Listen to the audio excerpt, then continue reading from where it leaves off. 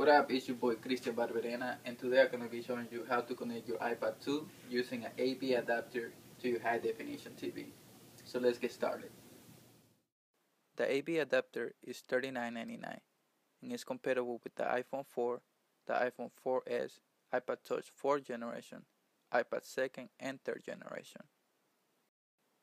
One of the benefits of having an AV adapter from Apple is that it does come with a 30 pin power cable input so you can charge your device while playing movies, games, or while you're doing a presentation for work.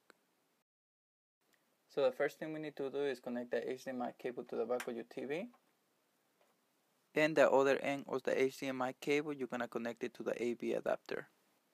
Now you're gonna be ready to connect your AV adapter to your iPad, like so. And notice the blue bar, Well, on your TV, now you're gonna select the right input. Here is a few examples of what you can do with the AV adapter. You will be able to surf the web using Safari, display your personal pictures and video you have recorded,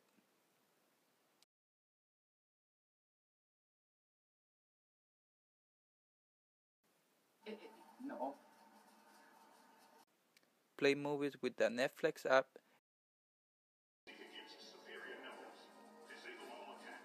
and now for the first time you will be able to use HBO on the go. Please make sure to have the latest iOS software update installed on your device as well as the latest update for the application you wish to use using the adapter.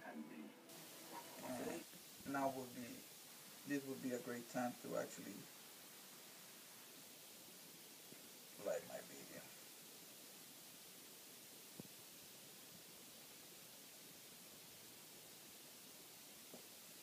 You can also play games, but please note that not all games will be compatible.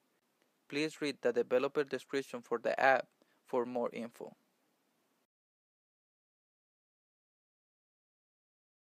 Just so you guys can see the YouTube app does work. However, notice how it's not covering the whole screen.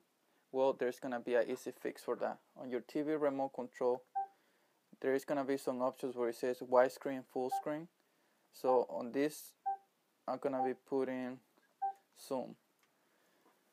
Now we're gonna go ahead and press play, expand that, and there you go. As you can see, it covers the whole screen.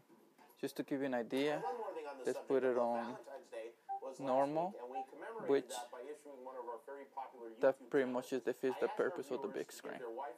Alright, so I hope I was able to answer some of your questions. If not, please comment right below. Don't forget to like my video and of course don't forget to subscribe. Please make sure to check out my other videos. Thank you for watching and you take care.